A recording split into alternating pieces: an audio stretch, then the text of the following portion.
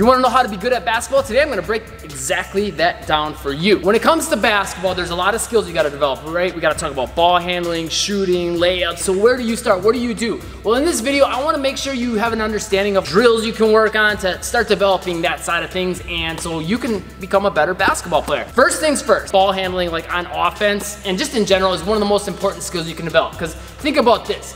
How many jump shots can you get up in 30 seconds?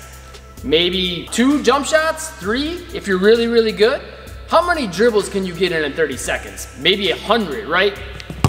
Rock, rocking out these dribbles real quick, down low, right? You can get on a lot of dribbles, a lot of repetitions, a lot of practice quickly. So it's one of the quickest skills to improve, number one.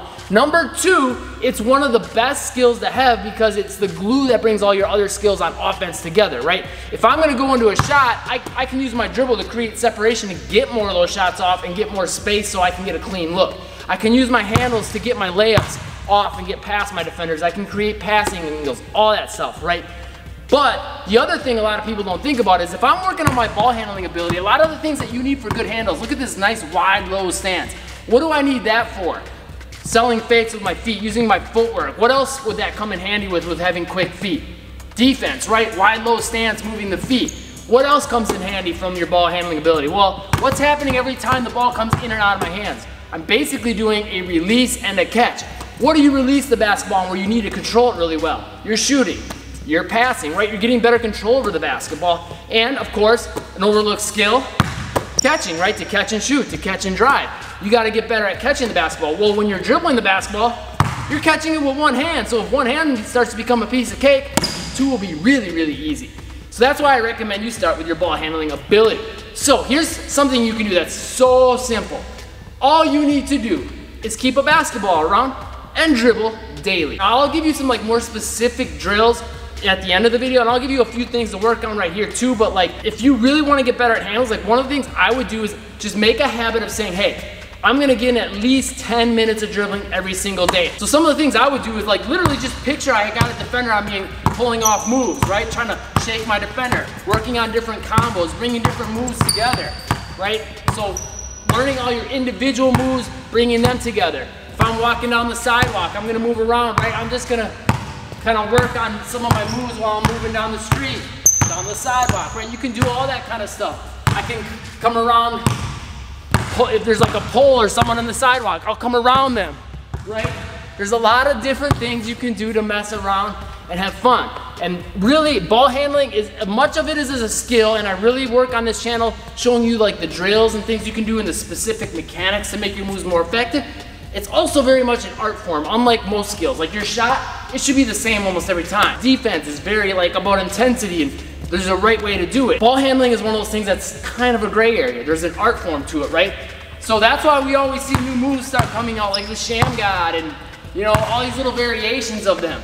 Ball handling is something you should just go out and have fun with. Dribble the basketball every day, play around with it, work on different combos, and basically just keep the basketball in your hand and keep yourself entertained. But at the end of the day, it's about getting that consistency in. Okay, next thing's next, layups.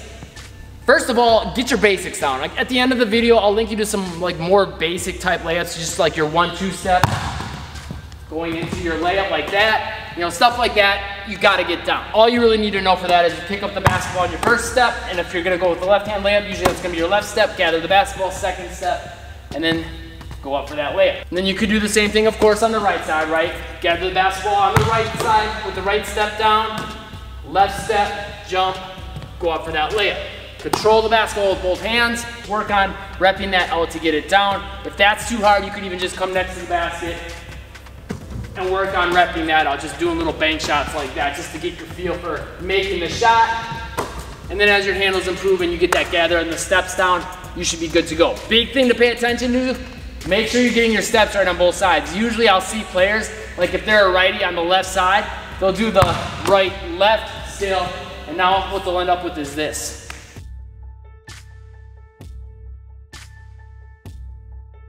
Usually you want to be like this when you're starting. As you get more advanced, you can work on advanced layups like with the off foot up. But usually you want same side leg and foot up. It'll help you jump a little bit higher, get your layups off a little crisper, cleaner, and with more power.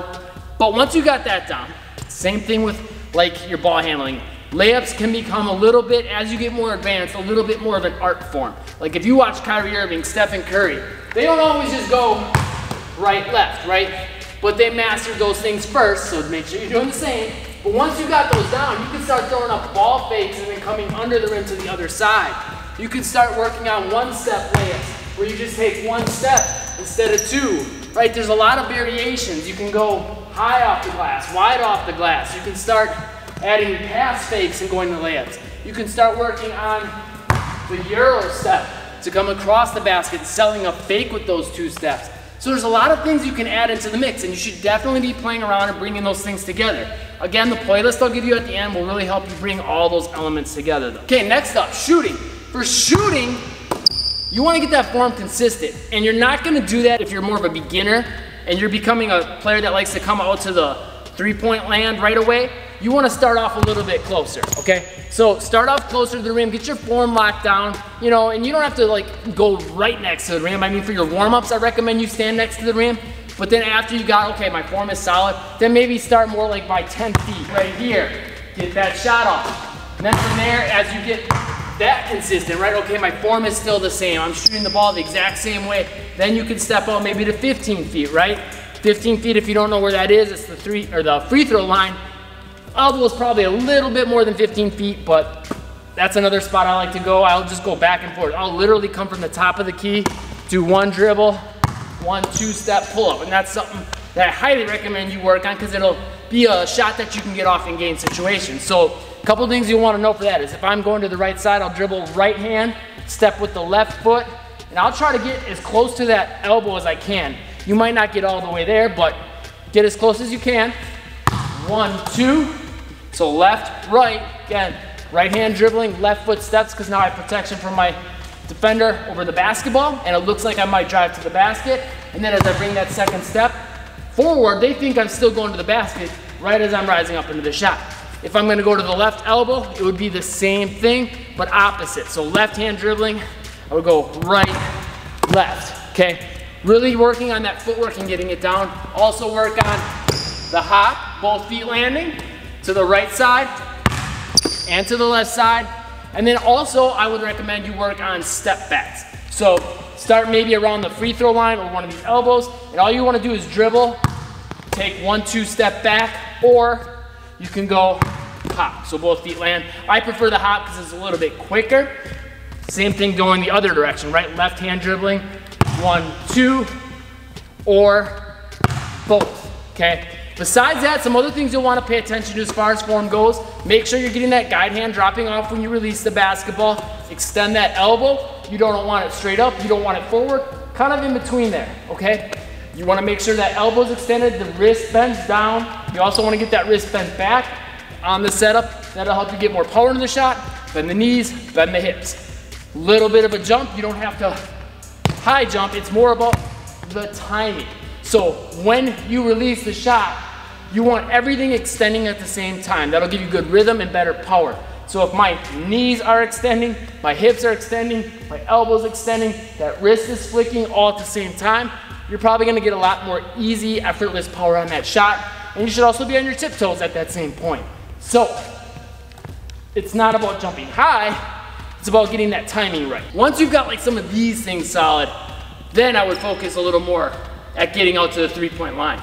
And once you get to the three point line, start off with just making sure your mechanics are the same. Focus on that first. If your mechanics are changing all the time because you're trying to heave that shot up, you need to take a couple steps in and get things right from there and start making those shots consistently and with consistent form. Then when you've got that down, step out to this three point line, get those down. Consistent form, consistent speed, and then start working on the things I gave you earlier, right? That one, two step, both directions doing the hop, right? Right hand, left hand. Basic stuff, but this is the stuff you're gonna use in 90% of game situations as far as getting your shot off. And then your step back.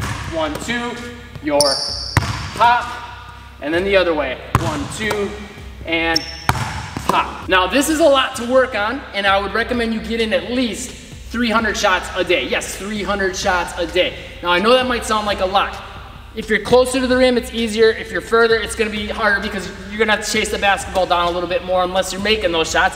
So make more shots and you do less chasing it down. If you can get someone to help you rebound, that'll save you a ton of time because you can just get reps in, reps in, reps in, and you don't have to spend as much time running around. Besides that, I'll link you again to a playlist at the end that will give you some more like drills and tips and things to help you instantly make more shots. In fact, there's one video in there showing you what you should aim for on the rim. That'll help you instantly make more shots. Pinned to the top comment, I'm gonna actually have all the things I mentioned earlier in the video. So I'm gonna have the playlist with ball handling drills and things you can work on on that side of things and moves that you should be working on, layups, shooting playlist that'll help you with knowing what to aim for, your form, all that stuff. And then another playlist that's more about basketball basics, you know, passing is gonna be in there, defense, things like that and that'll really help you just develop your overall game. And I'll also have a 100% free hybrid ball handling workout that'll help you develop both your ball handling and your athleticism at the same time, which as we know, athleticism is important in basketball, right? Being able to get past your defender quickly, being able to jump higher, layups, all that kind of stuff, right?